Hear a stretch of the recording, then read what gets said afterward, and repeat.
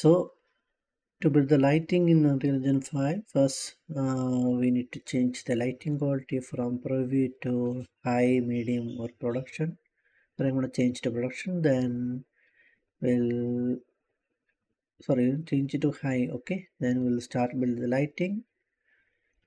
So it will take some time depends on your project to finish the lighting. We need to just wait to complete okay here is actually started. Okay.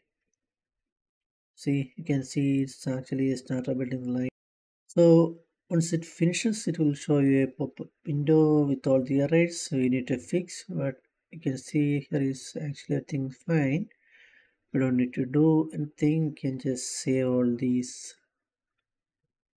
Okay make sure actually save once it finishes so if you like this video make sure to thumbs up and don't forget to subscribe the channel. Thanks for watching. Bye